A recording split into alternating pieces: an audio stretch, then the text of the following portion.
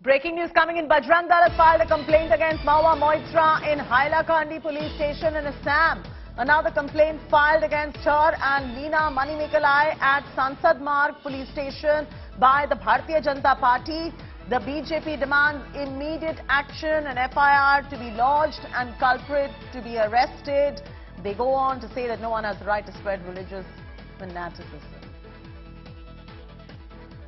So there you go. Uh, you've got uh, Bajrang Dal filing a complaint. Uh, then you have BJP filing more complaints as well. Another complaint filed against Mahua and Leena at uh, Sansad Marg police station by the Bharatiya Janata Party. And Bajrang Dal has filed a police complaint in Assam. Uh, this controversy is only getting louder at this point of time. Complaints are mounting against Mahua Moitra for that comment that she has made.